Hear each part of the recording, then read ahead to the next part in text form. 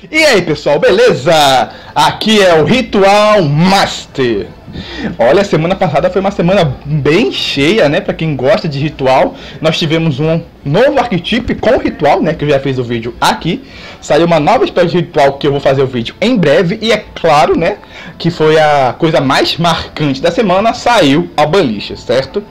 Eu fiz um vídeo já falando sobre a Banicha, aqui que eu também vou deixar no card, certo? Mas eu recebi muitas perguntas. E o Drayton? Cadê o Drayton? E agora? O Drayton morre do meta? Bem, nesse vídeo aqui, eu não irei apenas mostrar uma lista nova para vocês.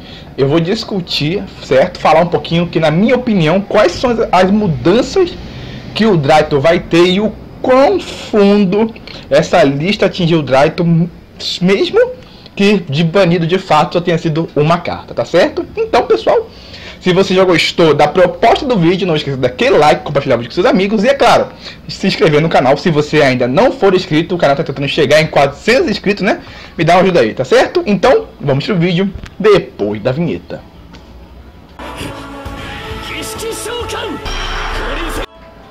Pronto, pessoal, já tô aqui no meu cantinho. E na tela para vocês tem uma engine, um deck, né? De Dryton Megalit, certo? Nós, nós sabemos aqui que a engine com Megalit não era a melhor versão de Dryton. Não era. Não era nem de longe. É, o pessoal, quando ia jogar de Dryton, era uma versão mais pura. Exclusivamente focada nas fadas. Certo? Algumas builds até usavam o Herald. Isso é fato. Nós tínhamos sim o, o Dryton rodando, mas era assim uma variante com menos apelo. Certo? Então, beleza. Pronto. E agora o deck levou lista a Benten Town e o único é um cara sumiu. Pronto. É, o deck agora ele tá assim, ó. Pronto. A gente tira o as duas Benten, a gente tira o União Caro do main deck, do extra deck. E refletindo nisso, o Cavaleiro do Amanhecer sai do nosso é, main deck. Pronto, você viu que aquela estava usando 42 cartas, eu tirei 3, ficou com 39 cartas. Pronto, fato. Beleza. É, agora vamos falar as opções, certo, pessoal? Vocês têm que ver o seguinte. A Benten é uma carta muito forte, muito forte mesmo. Não é à toa que você poderia ver qualquer build de Dryton com um Megad, com Necroid, sei lá, com é, Amorfecto Pen, qualquer coisa, Chaos Max, mas você ia ver três Benten. Sempre. A Benten é tão forte que vocês já pararam para pensar que você consegue usar uma Hand Trap porque ela é exclusiva para multifadas num deck de máquina. Sabe quanto isso é idiota? No sentido da palavra que não faz sentido. É uma Hand Trap que está falando com deck de fada, esse deck de máquina. E se você botar os Megalit ainda é pior, porque eles são rocha. O que, que ela está fazendo aqui? Benten. A insanidade da Benten permitia isso. E o deck perdeu, certo? E quais são as nossas opções? Bem, a primeira opção e a mais óbvia é deixar o deck do jeito que ele está. Você pega essa mesma build, põe o Lanceia aqui, vai pro jogo, bebê. Pronto, simples. Se você vai ver muito isso. A primeira alternativa da maioria das pessoas vai ser isso. Vai ser simples e rápido. Você vai tirar duas Benten, colocar qualquer duas cartas no lugar e vai. Isso vai funcionar? Não. Na verdade tem chance de funcionar, claro, sempre tem uma chance de surpreender. Alguém pode fazer vencer uma coisa tão simplória assim, mas isso vai realmente dar certo? As chances são bem pequenas.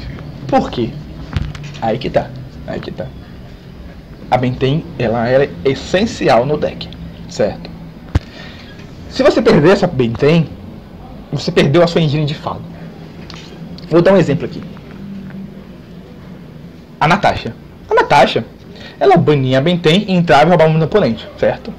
Só que você tinha três Bentens. E você raramente ia banir as três. Se o deck, se o jogo se estendesse, claro, você bania. Mas aí, com, ao estender do jogo, a Benten vai perdendo sua utilidade no deck. Então fazia sentido. Agora imagina no. Você faz seu campo, o oponente passa, quando vier pra você, você já não tem mais Benten. E você ainda não. E você ainda tem fada no seu deck para buscar. Que aquelas fadas só interagem com outras fadas, ou seja, só interagia com a Benten. E você já tem que se livrar dela. outra coisa. A Eva, por exemplo. A Eva, com o Niocario, você enviando ela ao cemitério, muitas vezes você bania uma Benten que já estava lá, e o Manju, e pegava a Petite Anjo e o Hero de laranja, até mesmo o Hero de verde ou rosa, se você podia ver. Mas, de novo, esse negócio tem uma Benten. Você não pode abrir mão. E aí vai ser muito mais difícil encher o seu cemitério com fadas. Porque era muito fácil encher com fadas. Era, eram três Benten e um Manju. Já no primeiro turno. Se você não usasse o, o Vanity Ruler, certo? Que também era uma, era uma carta que também era usada ou não era usada, mas enfim. Aí você já vê que quatro fadas é muito fácil você abrir mão de uma Benten. Tendo três no cemitério. Agora tendo uma. Então a segunda alternativa é você tirar essas cartas aqui. Ó, vamos lá. A Eva, a Petite Anjo, o Herald. Pronto. Aí o que vai fazer? O mais simples. Você vai botar uma carta que seja forte contra o formato. Né? É, por exemplo, o Billion Drops.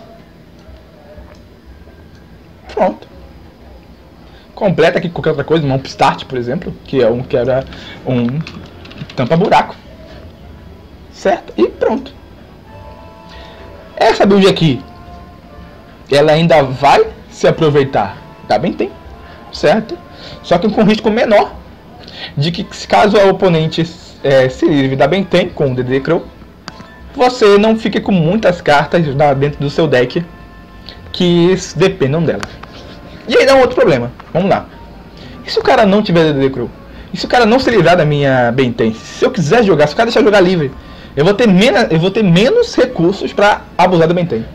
É, é verdade. É verdade, isso é um fato. Porque se você não perder a Benten, você vai ter um deck com menos recursos para abusar dela. Então você abriu mão de força para isso. Seu deck perdeu força. E agora? Nós entramos em mais uma questão, certo? Isso aqui já é a segunda do, do deck que eu estou te mostrando. Aí vamos lá. Bem, a Benten, ela, ela volta do seu deck. Você invocando ela com a, a, a Meteonis e a Pool busca ela. Certo? Então você ainda consegue invocar é, tributa ela uma vez pelo Dryton, depois invoca, tributa de novo, depois recupera com o Pool, o Pool tributa ela e já são três buscas. Que é o que o, o deck tem, basicamente, de, de fada são quatro, esse aqui. Contando Lancea, o Vent, o Manju e a Natasha. E nenhuma dessas daqui, tirando, claro, o Lancea, são interrupções. O Ruler ele até é, mas a gente vai ignorar um pouquinho. Pronto.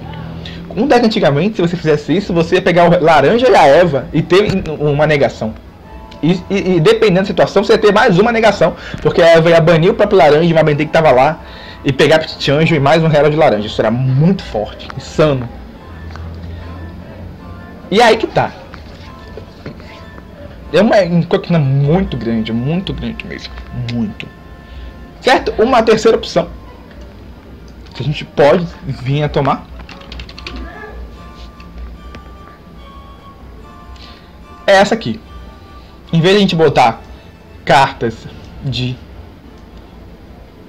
defesa, certo? Como a Drops, a gente bota aqui, ó. Ainda tem. Mas por que ainda tem? Bom, vamos lá. Ela é bem interessante. Ela é uma fada, o que vai fazer mais interação. Ela é uma Cyberanja, o que vai fazer mais interação com a Natasha. Né? Ela ser fada faz mais interação com a BD, porque ela ser uma Cyberanja faz mais interação com a Natasha, faz mais sentido. E ela, quando ela entra em campo, ela vai buscar uma magia de ritual cemitério. Ou seja, a magia de ritual vai poder se reciclar duas vezes no mesmo turno. Se não contar com a aplicação de ritos, se contar três vezes. Isso é ótimo. E o melhor, ela é level 6, beleza? E você consegue botar mais uma cartinha nessa sua build.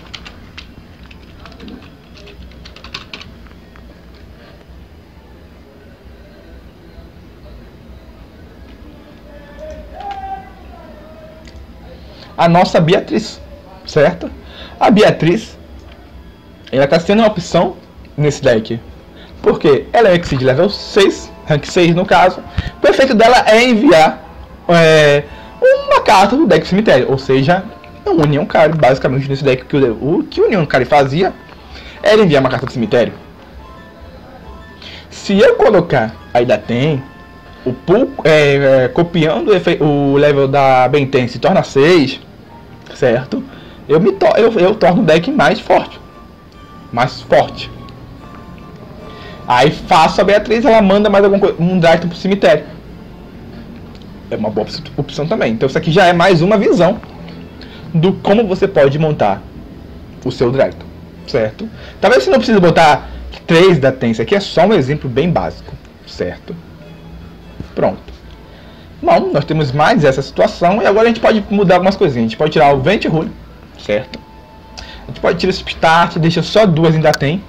E como eu falei, vamos lá. O que você vai enfrentar agora? Você vai enfrentar Tribgate e você vai enfrentar muito Dragon Link. Pronto. Então vamos botar caça para lidar com eles. Eu já tenho aqui o, o Lancer, que faz parte da engine da Benten, certo? Ah, você vai lá e bota Nibiru. Pronto. Pronto. Genial. Aí caso você pegue o, Nibiru e já é bom tanto contra a Gate, tanto contra o Dragon Link, certo? Talvez Dragon Link ainda consiga jogar, mas o Gate, se você levar um, um Lanceia e um Nibiru, você consegue acabar com ele. Aí beleza. Aí se você pegar realmente um Gate, você vai lá e bota um Lanceia aqui no seu deck. Você pode tirar até uma das spells de campo, não precisa rodar três. Pronto. Aqui ó, perfeito. Eu acho que pro meta, perfeito. Perfeito? Não. Vamos lá. O deck ele vai ter muito ritual. Hum, olha só. Olha só. Tem um monte de ritual que não faz nada ao ser tributado. Tá certo que ainda tem, ela tem algo quando ela, ela é tributada. Ela dá mil de ataque e defesa para todos os montes de rituais que você entra no campo.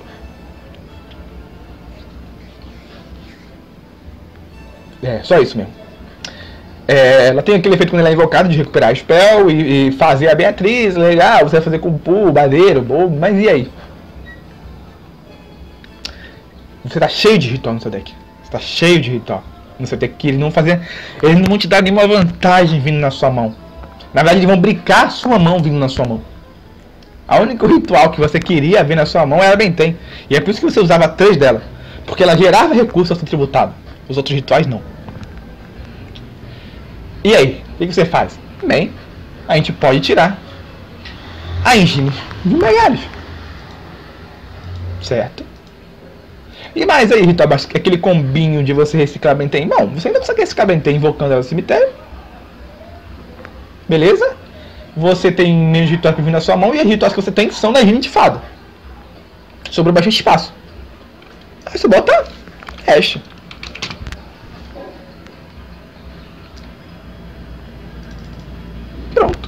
Ash.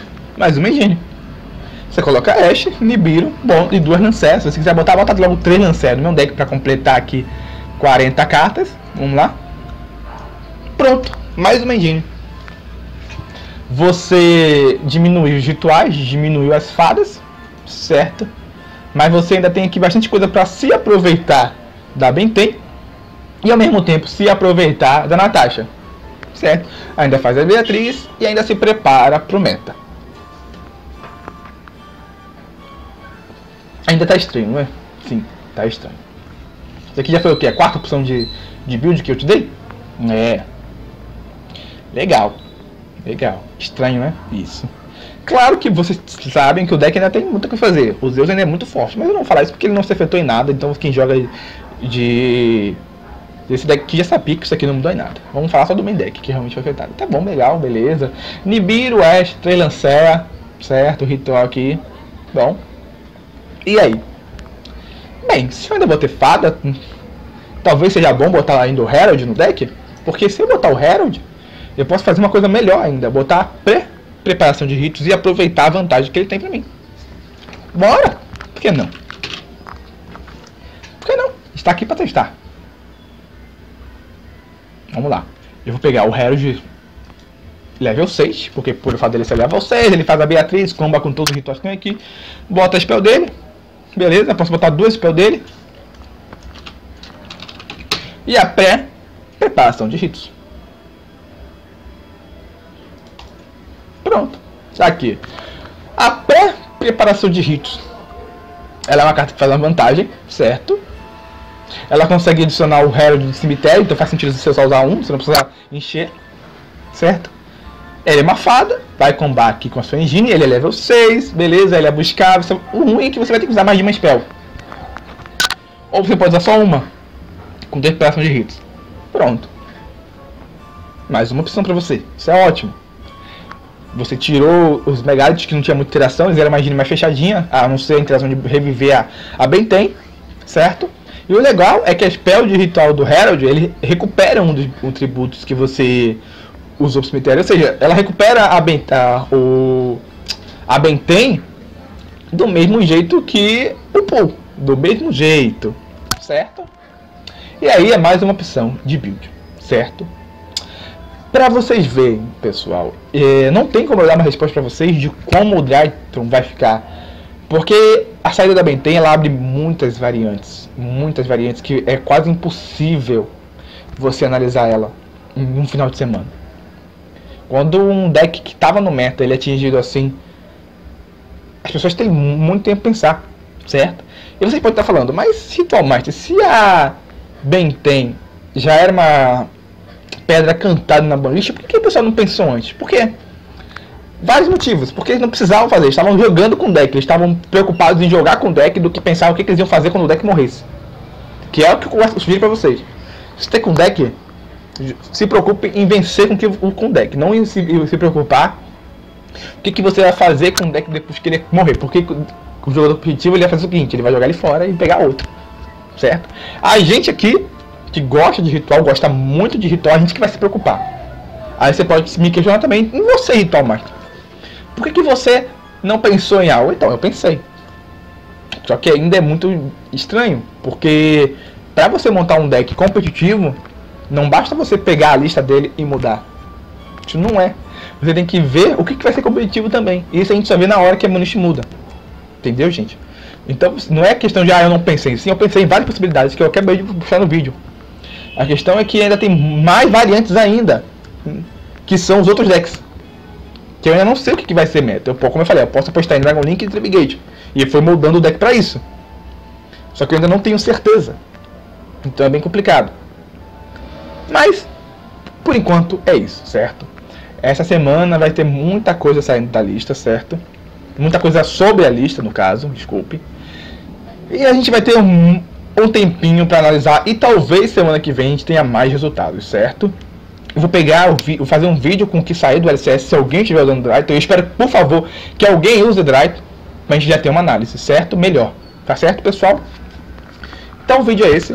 Muito obrigado, né, para quem assistiu até aqui. Me desculpe para quem esperou que eu fosse dar uma solução e eu ia fazer um vídeo de combando. Nossa, aqui, ó. Dryton não morreu, ó. Ó o combo que você fazendo. Não. Não ia fazer isso, não. Já fiz. Mas o Dracto ele é mais difícil de fazer isso, porque ele realmente depende de muitas variantes, tá certo? Bem, o vídeo é isso. Eu tô um pouquinho desanimado, tô um pouquinho triste, porque realmente eu tô triste por causa da Benten. Eu, deck de ritual, eu gosto de deck de ritual, né? Minha paixão. E ver um deck de ritual assim, ficando dessa forma assim, muita gente vai largar Drayton. Muita gente que jogava Drayton vai. Você vai ver ele sumir um pouquinho. Até alguma coisa surpreendente aparecer, muita gente vai largar Drayton. E eu acho que não vai aparecer essa coisa surpreendente não, hein, gente. Mas é isso. De outro lado tem um vídeo. Outro lado tentou se inscrever. Se você quiser me apoiar de algum modo, tem meu Pix aí, certo? rmastercontato.gmail.com, é tudo minúsculo, certo? E até a próxima.